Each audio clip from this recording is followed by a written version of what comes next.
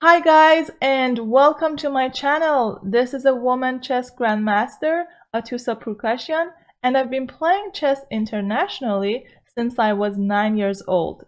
So to be honest with you, I wanted to create a chess family on YouTube for so long, but some of my friends told me that, are you sure you want to do this?